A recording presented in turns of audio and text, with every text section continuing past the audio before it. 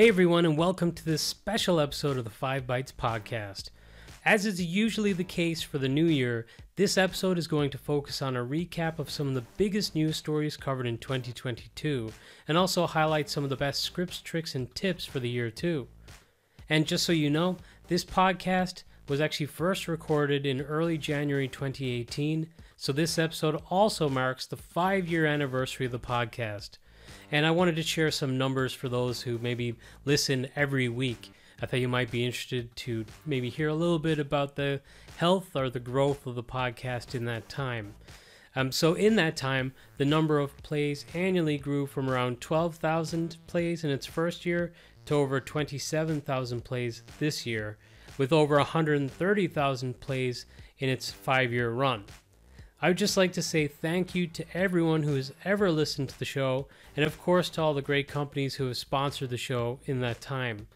Each episode takes several hours to put together, and it would not be possible without sponsors. And the sponsors for this week's episode are Netwrix Policy Pack, ControlUp, and Numecent. And as always, if you enjoy the show, you have these awesome sponsors to thank. Now let's get into a recap of some of the news. It was a pretty strange year in our industry with some major acquisitions, including the acquisition of Citrix by TIBCO and an attempted acquisition of VMware by Broadcom. Now, in episode 261, which is obviously very recent, I shared the latest update on the VMware acquisition and that there is delays due to an investigation by the European Commission into the acquisition for possibly having some anti competition concerns. Unfortunately, there is a human cost for employees with these types of acquisitions, and Citrix laid off many employees before and after the acquisition was completed. And another major acquisition this year was Oracle's acquisition of Cerner, which is a world leading electronic health record system. There were other very high profile less maybe enterprise IT related acquisitions this year as well, such as the Twitter acquisition and an attempted acquisition of Activision by Microsoft, which as of the end of 2022 is also seeing some delays and difficulties and challenges, and maybe it won't come to pass. I guess we'll find out in 2023. And as things stand, many of the largest economies in the world right now have entered a recession, and many tech companies have been undergoing what some have been calling a right sizing exercise by laying off thousands of employees. As we enter 2023, it is certainly very uncertain times. There are still many companies with vacancies to fill, and a lot of countries are at close to full employment but inflation, along with continued supply chain issues, are having a crippling effect on a lot of companies. And people like Mark Zuckerberg, who is at the helm of Meta, which has had massive layoffs, have stated that they hired too many people to deal with growth um, during the beginning of the pandemic, and then they found themselves basically too bloated and had to let people go uh, as a result.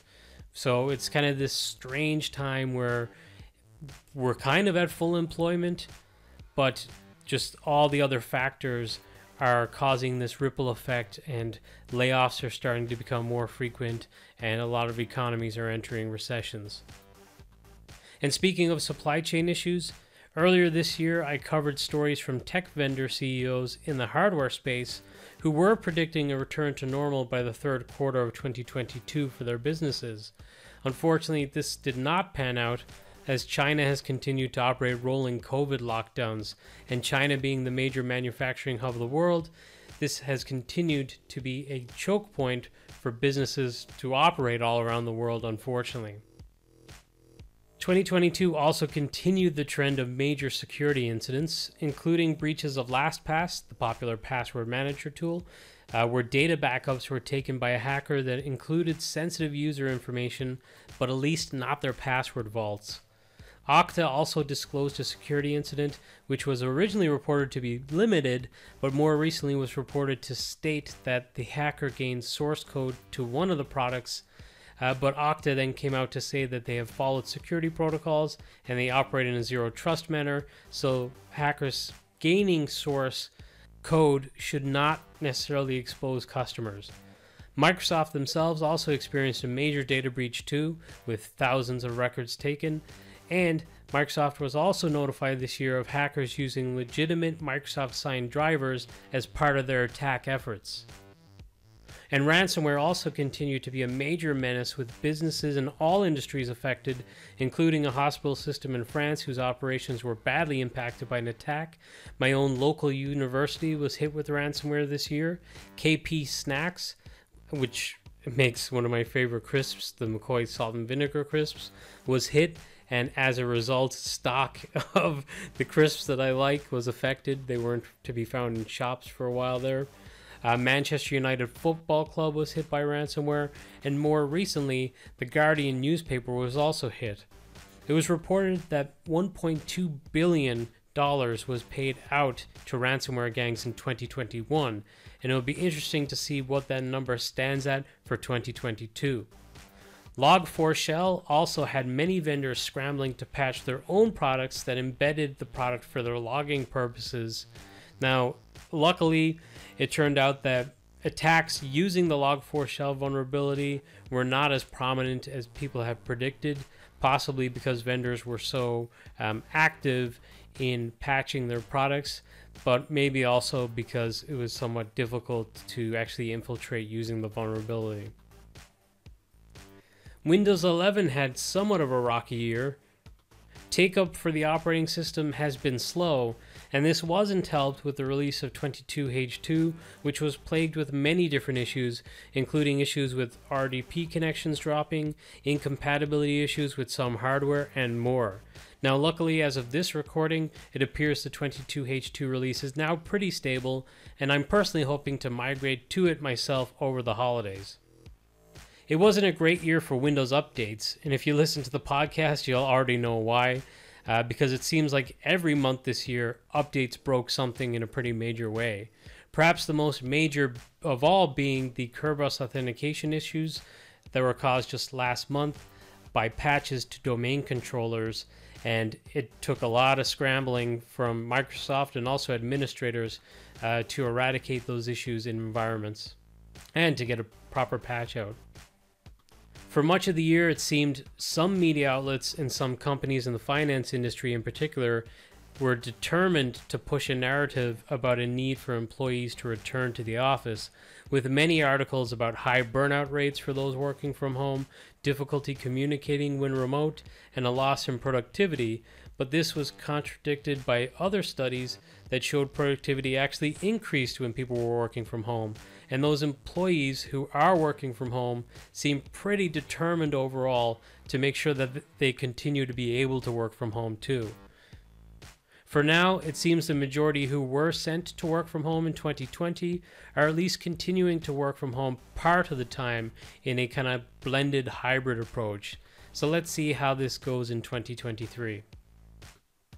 And as always, I kind of want to highlight some of the news for the sponsors of the show from last year, and that includes show sponsor ControlUp, who had another great year as their DEX offering keeps expanding, with script based actions making their way into Solve, which is the web UI real time dashboard. And they also expanded the features and capabilities of EdgeDX, brought unified communications monitoring, uh, user sentiment, and more. And Netwrix Policy Pack continued to grow its rich feature set, particularly on the security side of things, with Least Privilege Manager receiving several significant enhancements. There was the PolicyPak Mac integration this year, and much more. It seems like PolicyPak has been integrated very well within the Netwrix product suite and family.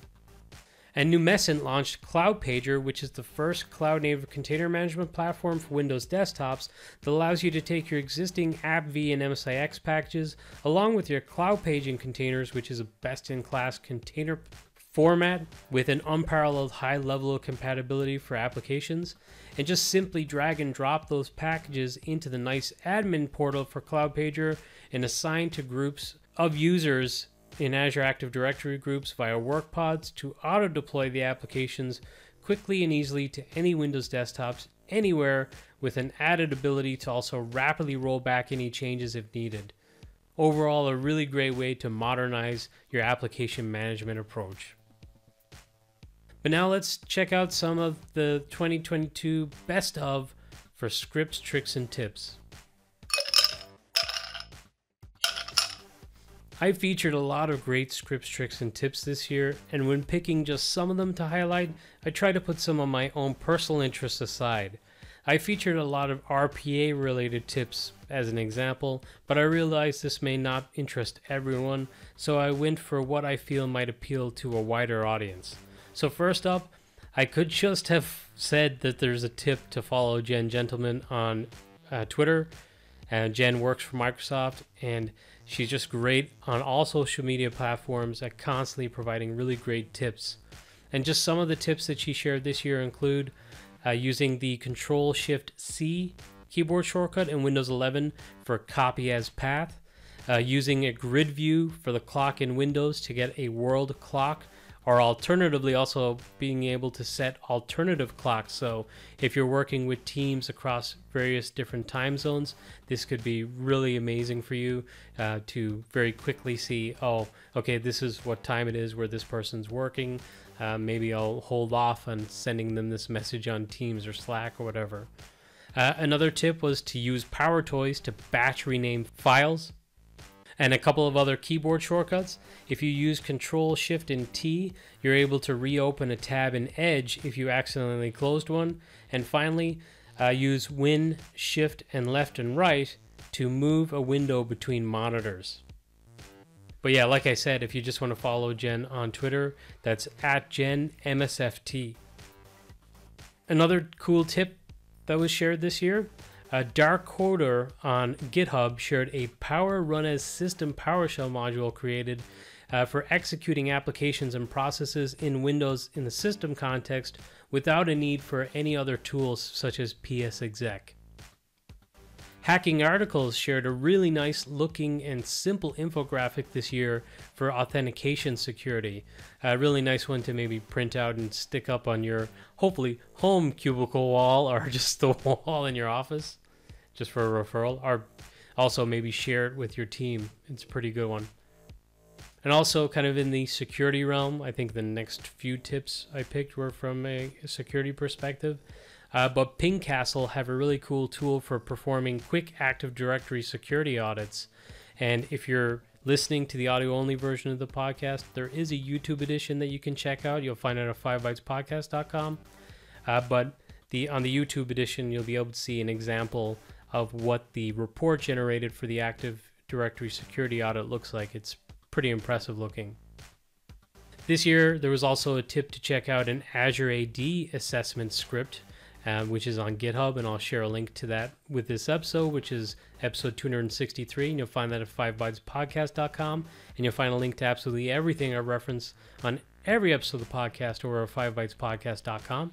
Uh, but another really great security tip, and one I've repeated on several episodes this year, is to join the patching mail group. So there's a Google mail group uh, that's completely dedicated to patching. So a lot of the stories that I'll cover on uh, the show, I'll initially see the reports coming through that mail group, and then I'll typically kind of wait until some of the other uh, media outlets start to report it and maybe get some confirmation from Microsoft. But uh, this is a really great first port of call, and if you're an IT administrator who does patching, you should really be in this group um, to get information as quickly as possible about patches when they go wrong. Also, security related, Sophos had a great post this year on reconstructing PowerShell scripts from multiple Windows event logs. So, if an attacker uses a PowerShell script, you're actually able to piece that script back together via the Windows event logs. And Trevor Jones this year shared a script to get the current Windows 10 patch level using PowerShell. And not security related for this one, uh, but kind of from a personal standpoint, I had a really great time presenting at HIMSS, which is a uh, medical conference in Orlando, Florida, uh, with my good friend Trentent Tye during the year. And after the conference, we published a blog post on controlup.com using actual real world data showing remote access tool utilization in different countries and how that may correlate with public health policies during the peak of the pandemic. So, really, really interesting to see that data and to kind of compare it uh, country to country. Like, for example, Australia had a pretty kind of rigid isolation policy and they kept things open. And you can kind of see that uh, most people didn't get forced to work remotely. So, remote access kind of happened um, later uh, in the flow for them versus maybe someone like Ireland, where I am, where uh, things hit very early on, and you can kind of see that in how people were working. And I couldn't have a best of without mentioning some of Guy Leech's tips. And Guy this year shared a cmdlet to find all Azure related uh, modules and install them. Guy also shared a script for trimming working memory sets, which is a really interesting one, particularly if you're on uh, maybe published desktops, terminal services for published applications as well if you want to free up some memory from maybe idle sessions or something like that, you can clear a lot of memory by running this script. Also PowerShell related, but Brien Posey had shared a, a blog on how to create functions in PowerShell scripts. So, so kind of going back to basics, but also very important. The Austin Morris Daily shared his resources this year on Application Reliability Monitor with Log Analytics and some of the work that Morris has done with log analytics is very, very impressive. So if that's something you're interested in, check out this blog. Thomas Thornton had a post on writing reusable Terraform modules, and Terraform has been very, very popular in the recent years, and kind of maybe also related, but not directly. Uh, Sid Palas had a really great Terraform course that he created and shared, and it's available completely for free on YouTube. It is a complete Terraform course. So if you're interested in getting started with Terraform, definitely check that out. Uh, I completed it myself. And someone in the same vein, the awesome Jim Moyle had a series of YouTube videos from a couple years ago, but I shared them again on the podcast this year, uh, where he's going through Azure Image Builder. I think he goes through ARM templates and several different automation uh, techniques for Azure Virtual Desktop and really just virtual machines in Azure in general. And the awesome James Kindon had a blog post this year on shrinking an Azure OS disk to enable ephemeral capabilities. So one of the tricks with the ephemeral OS disk is there has to be a certain size allowance, I believe, for the caching of the OS disk. So it's kind of a, a difficult one to get started with because you need to size things right and you might think you're picking a disk that will work for it but because there's so much disk required for the caching it's not a good fit and then you just have the option grayed out. So james can kind of help you through that with this blog post.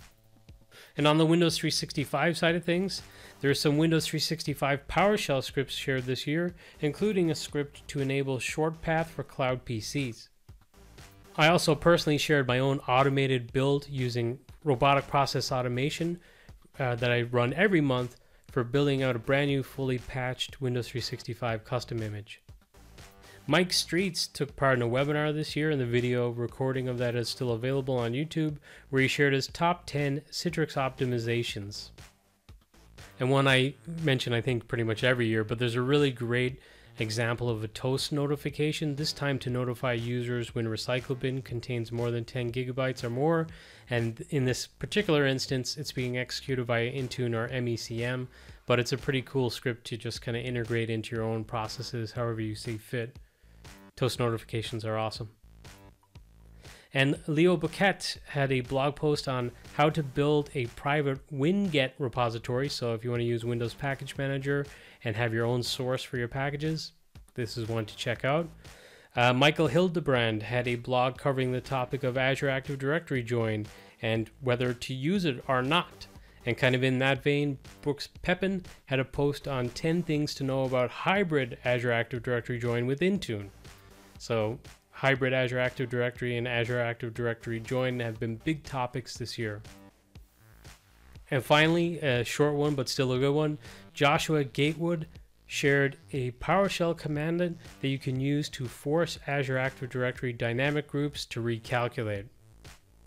Now, I'm not sure if that one's still going to be relevant if you're using the uh, latest Azure AD Connect Cloud Sync, I think it's called. I covered on the last episode of the podcast, um, but hopefully so.